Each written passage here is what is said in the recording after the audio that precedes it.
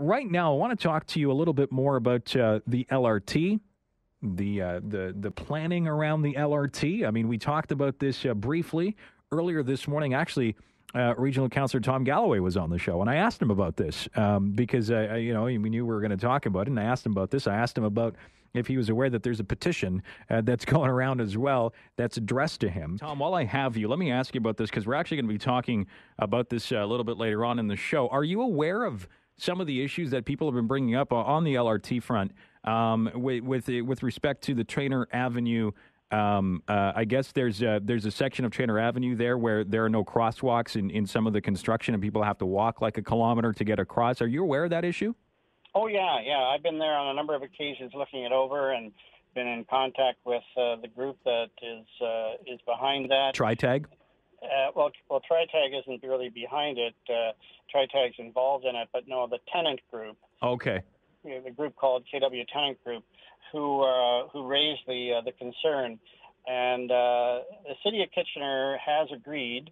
Uh, after we contacted them to uh, express this uh, particular concern, uh, to do a study on pedestrian movement in the area. The city has never had a crosswalk through this particular area, although there have been informal crossings, uh, a number of them uh, through the hydro right away over over the years. Uh, but the city has never seen it necessary to actually put in a, uh, a crosswalk or a, a pathway system. So now that the uh, LRT is going through there and the fences have gone up, of course, the informal crossings can't take place anymore. Uh, but uh, this is really more of a city matter because the city takes care of uh, of uh, pedestrian uh, mobility and accessibility. and so they're going to do a study. We're going to participate in it. And if the at the end of the day a crossing is is deemed to be necessary, then we'll ha- then we'll give that some consideration. Um, but uh, it was never raised as an issue during the planning process uh, back in 2012, 2013, when all the details were being put together. But uh, that's not to say we can't revisit it now. Uh, but uh, the solution uh, will come after we uh, the city does this uh, particular study. Well, I just I, and I'm not sure if you know this, but there's there's a petition going online as well about installing the the LRT pedestrian crossings there oh, on, on favor. Oh, you are aware because it, because it's actually addressed to you. yes, yeah, yeah. I, I, kind I kind of noticed that, Eric. and and it was only addressed to me because I'd already been in consultation with the group and uh, and they're trying to uh, move forward the issue. And so we've been able to get the city to undertake a quick uh, study to find out uh, how many numbers of people, uh, you know, would like to have that crossing. What are the options? Uh, a level crossing, an overpass. How far would they have to go if they go around it? The city is constructing a, a community trail uh, parallel to the LRT tracks on the Traynor side from Wilson to Courtland. Uh, so that'll be a, a fully stone dust uh, community trail, but that doesn't get you across the tracks over to Fairway Road.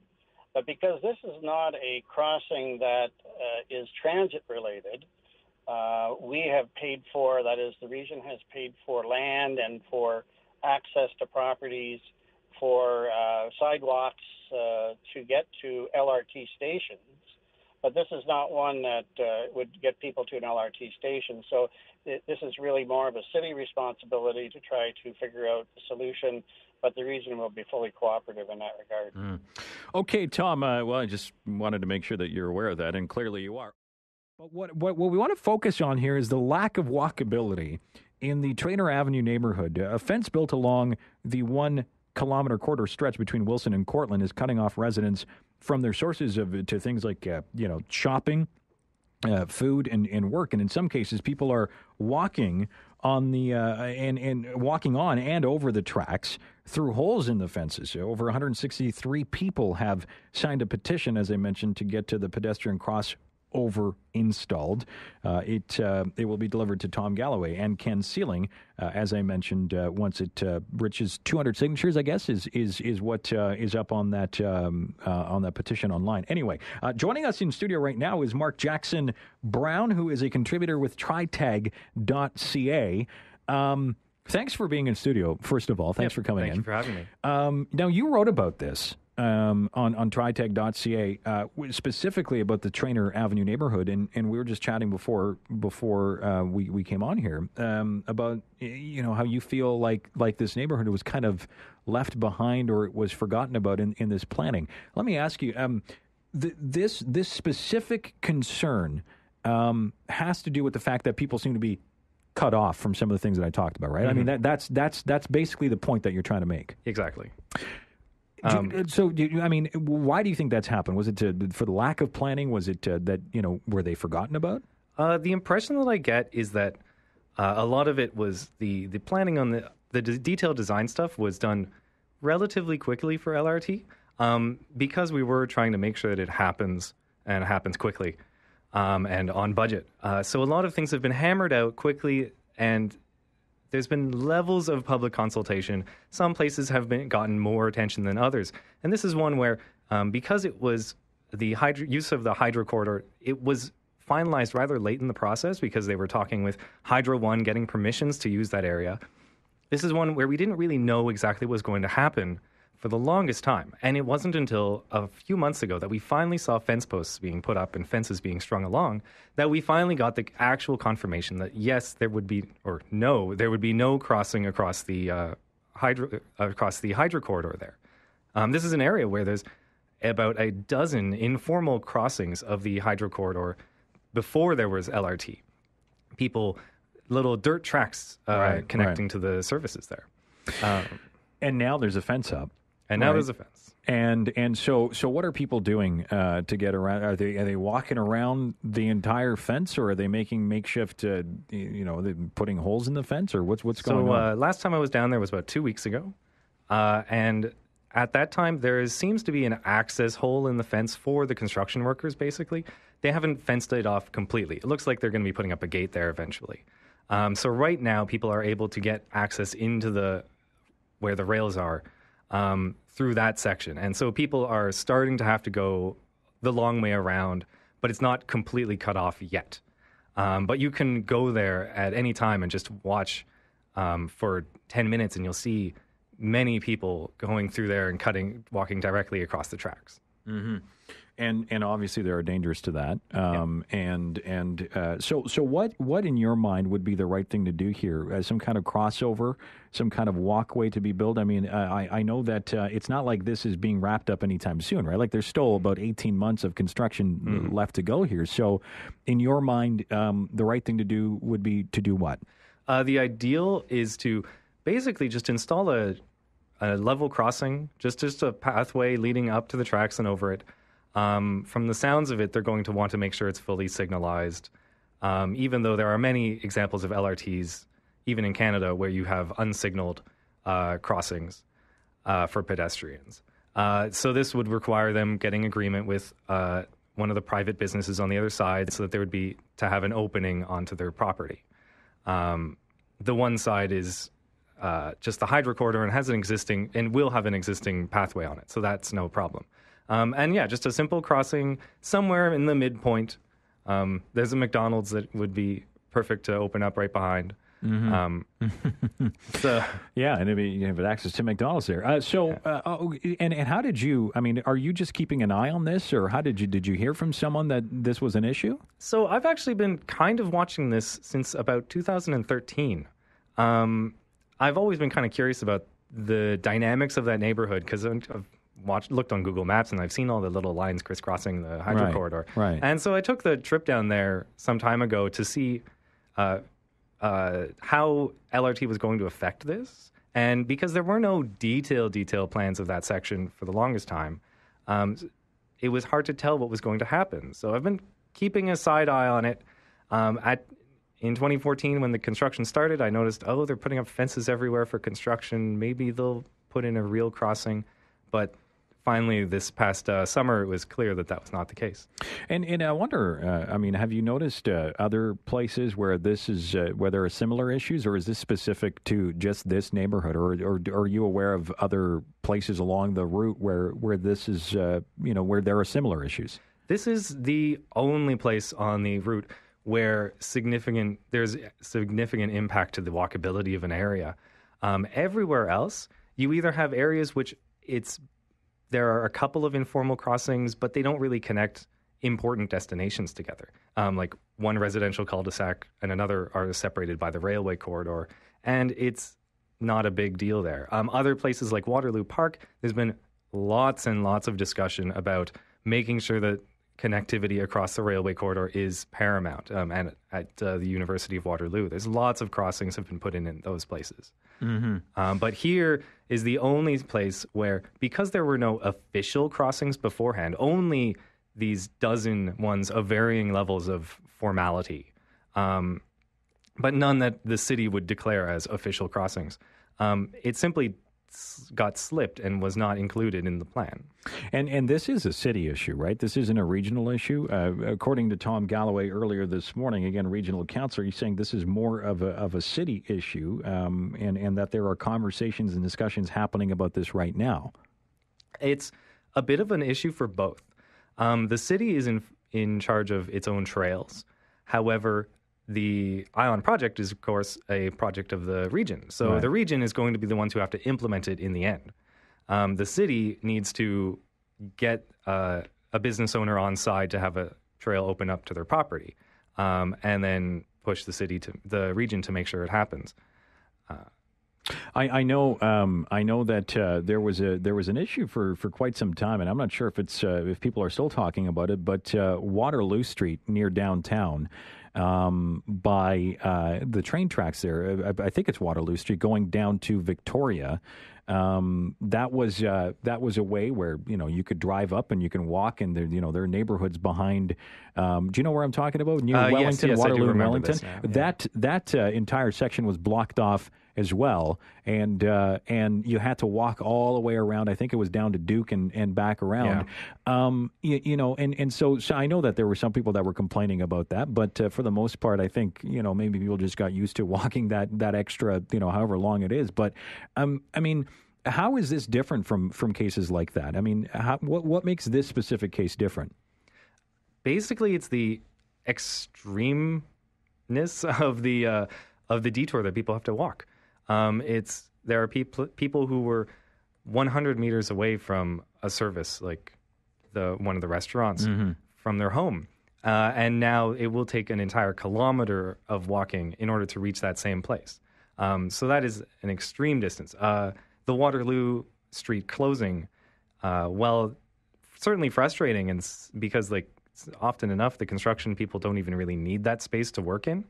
Um, it's really a byproduct of well, Victoria is also closed. Right. So it's and then occasionally they close Duke Street as well.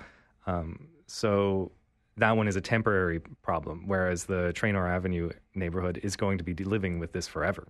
Right, and that's and that's uh, that's really the issue. Um, okay, so I listen. I want to open up the phone lines and just get people's thoughts on this, and uh, you know maybe people have noticed uh, other areas where they they have problems with. So you can call us in, uh, call in right now if you'd like at 519-570-2545 star five seventy on your cell. You can uh, email into eric at 570news.com as well. We're in studio this afternoon with uh, Mark Jackson Brown, a contributor to tritag.ca, writing about uh, the Traynor Avenue neighborhood and a fence that was uh, built along there, uh, uh, one kilometer corridor stretch between Wilson and Courtland that's cutting off residents from, you know, shopping, food, work, etc. Uh, we're going to take a quick break. We'll be back with much more after this. The Eric Drozd Show continues on 570 News. All right, welcome back. It is 1249. Thanks so much for being along uh, in studio this afternoon with Mark Jackson Brown. He's a contributor to tritag.ca, uh, writing about the ion walkability fences, and it's never too late to fix mistakes. Uh, in particular, what we're talking about is the walkability in the Traynor Avenue neighborhood, where a fence there built along a one kilometer corridor stretch between uh, Wilson and Courtland is cutting people off from you know shopping, food, work, uh, things like that. And in some cases, people uh, you know are walking over the tracks through holes in the fences. There, uh, there's a petition actually up right now that uh, we know that councillors are aware of. Tom Galloway, regional councillor, who was on the show earlier this morning. Uh, I asked him about it. Uh, it's up at change.org to install an LRT pedestrian crossing to Fairway Road from the Traynor um, uh, neighborhood. uh, and uh, that is uh, you know about 164 supporters right now. It's looking to reach 200, uh, but that is up there, so people are aware of it. Um, and and Mark, let me ask you. I mean, as as you as you know, someone you said that you know has been kind of keeping track of this or keeping an eye on, no pun intended, uh, on the construction of this since 2013, as you say. How have you found the the construction being handled, generally speaking, in terms of uh, you know, be it detours or or or the walkability of an uptown or a downtown? Um, overall, in terms of the construction problems, uh, the construction detours, I mean, it's been it's been frustrating. However, it's been a case of like the short term pain for long term gain. Um, I've done plenty of walking around uptown and had noticed that oh, the crossing of the street is closed today, and I have to go all the way mm-hmm. three blocks that right. way. Um, but it's it's it's certainly frustrating, but it's f- ultimately for the greater good, and I just grin and bear it basically. Buckle down and yeah, I mean it's unfortunate that uh, accessibility has been impacted, um, and but it, it's a case of the speed with which they're going through this construction. We're building this thing much faster than many other places. I mean, our whole construction is taking like two years shorter than Ottawa's LRT, for instance. So we're we're really blazing through it, and the construction workers can only keep up with it so quickly, right, uh, to maintain access. Do you think that that is part of the reason why some things are missed? I mean, when it comes to the planning stages, I mean, the, it, if it you know it certainly is moving quickly, uh, is do you think that plays a role in some of the mistakes, if you will, or, or you know, like the Traynor Avenue? Um, some of the uh, issues he, like this do seem to come from a case of we we made sure to get shovels in the ground for LRT um, with no major delay. And in some cases, there are a few places along the line where it could have used there could have been a bit of a sober second thought about how things were going to be built, what the uh, what the construction conditions were going to be, like how intersections were going to be created. Uh, Caroline and Urban, Uptown Waterloo, is being rebuilt, but it still doesn't help the uh, cyclists through that through that area. Um, so that's going to be have to be fixed later on, um, or it's just going to be a pain point forever. So there's a few places here and there where they just didn't let the plans uh, bake long enough. Mm-hmm.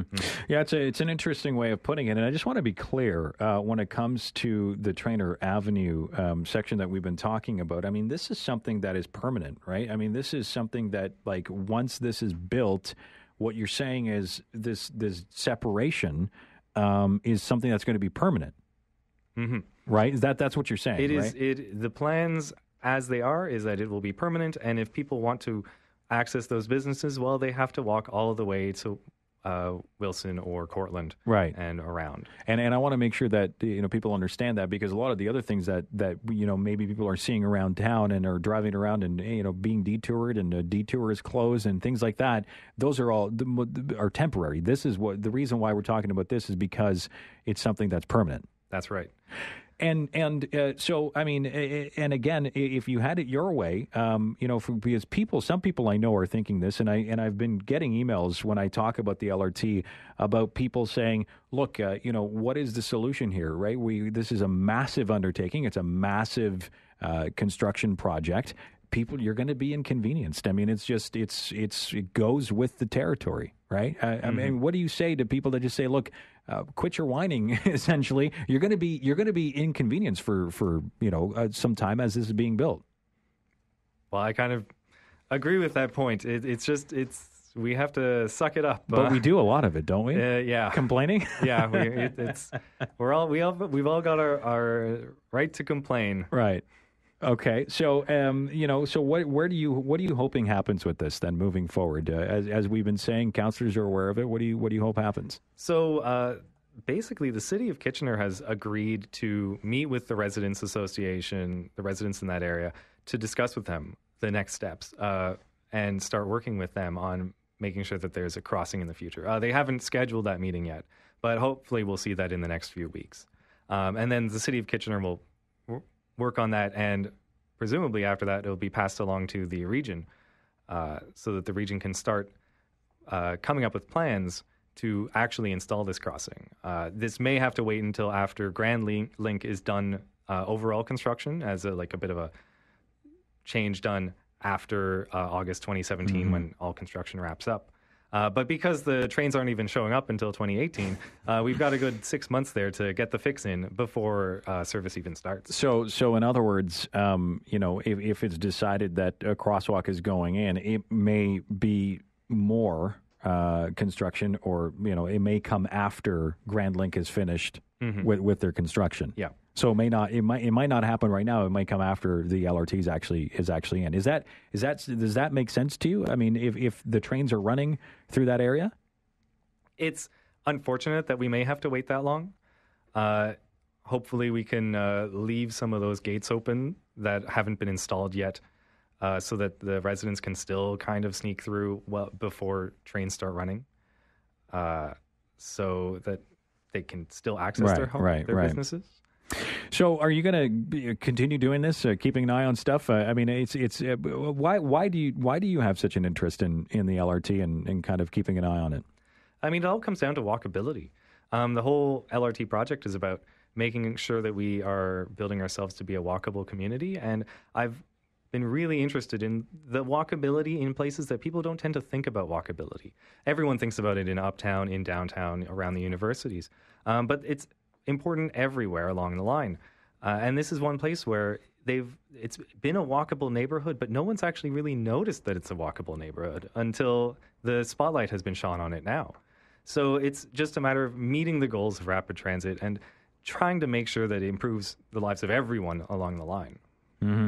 Okay, well, listen. Um, uh, are you well? If you're going to be contributing more to TriTag, uh, maybe we'll talk again uh, in, in the future. I want to thank you very much for taking the time and, and joining us in the studio and bringing this forward too, because I know I know that uh, sometimes it all gets lost in the uh, in the in the traffic nightmares and in the headaches that go that way. I mean, we love talking about this, but thanks for bringing this forward. I really appreciate it. Yeah, thank you for having me. All right, there's uh, Mark uh, Jackson Brown, who's again a contributor to TriTag. By the way, you can check that out um, at tritag.ca. Uh, it is entitled Ion Walkability Fences, and it's never too late uh, to fix mistakes. So you can check that out there. And for those uh, who have emailed in, I just see a couple of emails here about uh, the petition. Change.org is where that petition is up right now. Install an LRT pedestrian crossing to Fairway Road from the Traynor neighborhood. So you can check that out as well.